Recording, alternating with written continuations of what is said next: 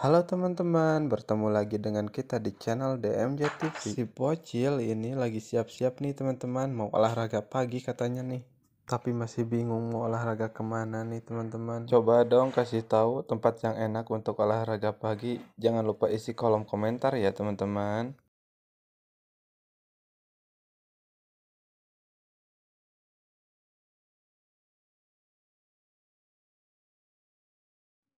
Sekarang kita sudah masuk ke jalan rayanya. Ini jalan raya Cijapati.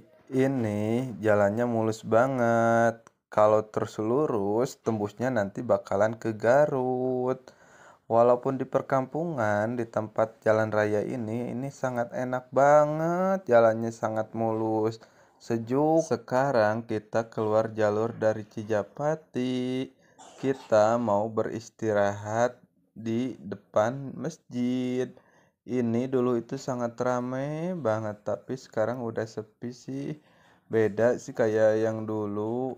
Kalau dulu sih rame banget. Di sini tempatnya sangat adem banget, pemandangan sangat bagus, udara sangat adem, enak banget untuk istirahat. Sekarang kita sudah masuk area masjid. Sangat klasik banget ya teman-teman. Tangganya juga sangat banyak banget. Ini terbuat dari batu-batuan semua nih. Bagus ya, kira-kira menurut teman-teman bagus enggak? Kalau menurut aku ini sangat bagus sekali sih teman-teman.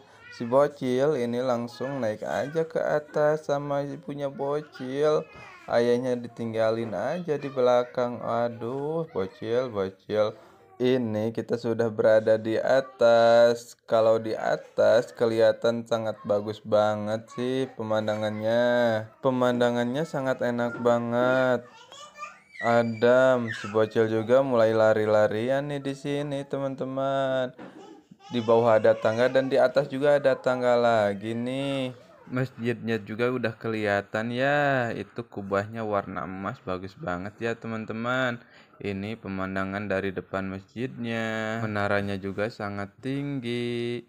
Bata-batanya atau batu-batunya tersusun rapi. Tangganya juga sangat banyak banget.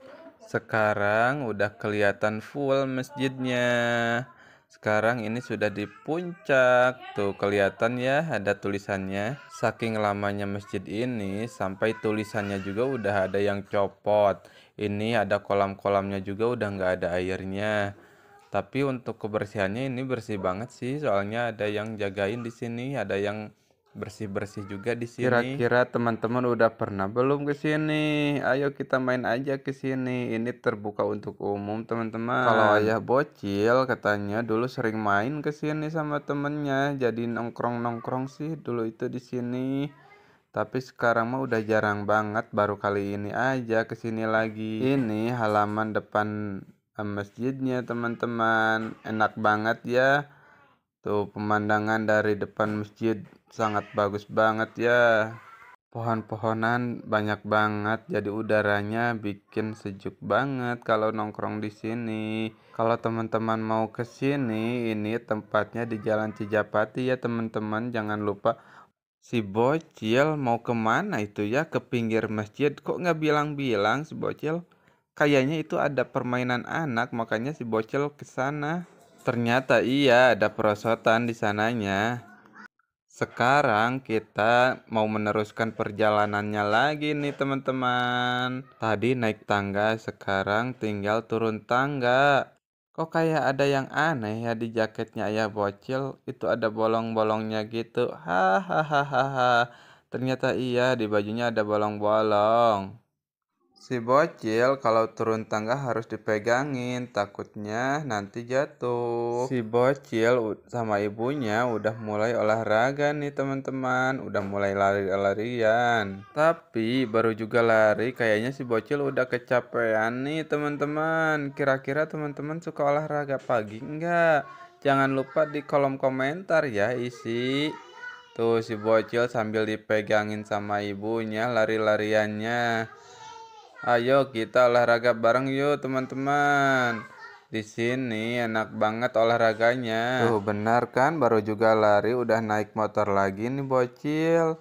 Ah, ini makin tinggi sih perjalanannya. Ini enak banget udaranya. Kalau teman-teman ada di sini pasti enak banget, pasti seneng. Ini juga enak banget udaranya segar banget. Sebentar lagi ini mau ke puncak, puncaknya Cijapati. Di jalur Cijapati ini selain untuk olahraga lari, biasanya banyak juga yang bersepedahan ke sini nih teman-teman. Biasanya kalau sepedahan itu dari Cijapati ditembuskan terus ke Garut. Nih kayak aba-aba ini, ini ada yang sepedahan juga tuh depan, ada juga. Kalau teman-teman suka sepedahan, ini bisa jadi trek jalan sepedahan nih teman-teman. Soalnya jalannya enak banget. Kalau ke sini pasti ketagihan. Selain jalannya enak adem dan pemandangannya juga bagus banget. Sekali-kali teman-teman main dong ke Cijapati. Ini tempatnya enak banget kan? Tempatnya enak suasana adem pemandangan bagus selain itu di sini juga banyak yang pelihara sapi seperti yang di pinggir-pinggir ini nih ini kotorannya sapi biasanya dipakai untuk pupuk. Nah, sekarang kita udah ada di puncak Cijapati nih teman-teman. Ini puncaknya Cijapati ya. Enak banget ya tuh, pemandangannya bagus banget. Biasanya kalau agak siangan atau sore banyak yang nongkrong di sini nih, banyak yang pacaran, banyak yang nongkrong. Banyak kalau bulan puasa banyak yang ngebuburit di sini juga teman-teman. Nah, sekarang kita udah mulai mau turun lagi nih, teman-teman. Dan di tempat ini juga ada beberapa tempat wisata yang harus teman-teman kunjungi, teman-teman.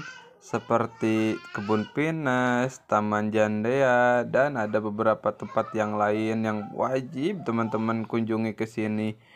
Wah, ini enak banget ya jalannya. Selain tempatnya enak, jalannya juga enak Tuh, pagi-pagi gini ini masih ada kabut ya, padahal ini paginya udah agak mau ke siang-siangan. Kabutnya masih ada tuh teman-teman, karena ini posisinya kita di posisi gunung di puncaknya. Nih, jalannya juga bagus banget ya. Kayak di luar negeri gitu.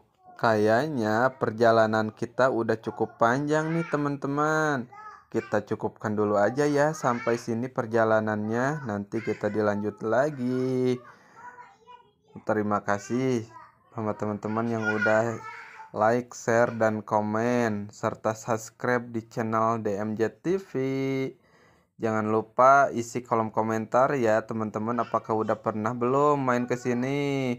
Ditunggu ya komentarnya. Terima kasih